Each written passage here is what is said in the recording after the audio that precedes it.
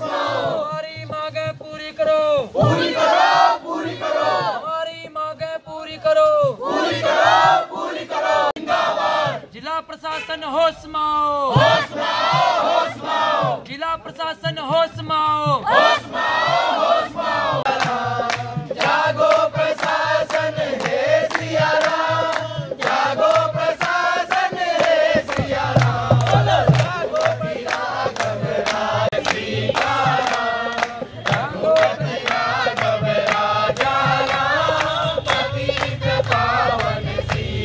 आज हम यहाँ पे पूरा कलाकार संघ बागेश्वर दल बल के साथ यहाँ पे धरना प्रदर्शन दे रही है।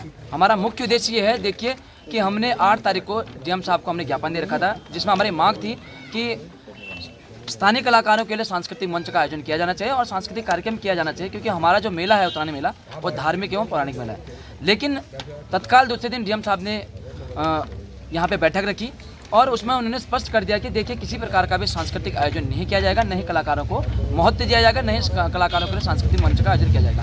तो हमने उसमें ज्ञापन में साफ़ साफ़ दिखा था कि देखिए, अगर कलाकारों की मांग पूरी नहीं होगी, स्थानीय कलाकारों को मंच नहीं नहीं दिया जाएगा, सांस्कृतिक कार्यक्रम नहीं किए जाएँगे तो हम उग्र आंदोलन के लिए बाध्य होंगे। तो उसी सिलसिले में आज सारे कलाकार बंधु, कलाकार संघ बागेश्वर जो है, आज यहाँ पे गांधी चौक स्टेशन रोड में बैठा हुआ है और हम लोगों ने निर्णय ले रखा है कि यहाँ से रैली निकालकर एस बी चौराहे में शासन प्रशासन का पुतला फूकेंगे।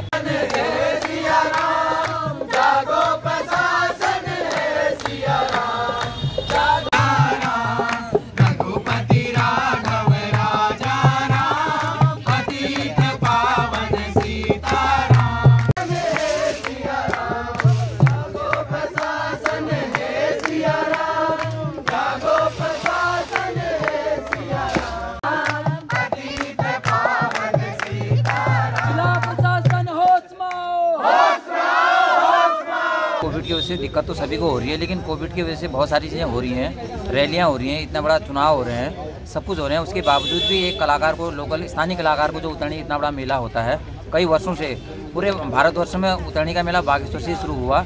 आज कई जगह में मेला हो रहा है और जगह कोविड नहीं हो रहा है, सिर्फ़ बागेश्वर के लिए कोविड क्यों हो रहा है इन कला, बागेश्वर के स्थानीय कलाकारों के लिए?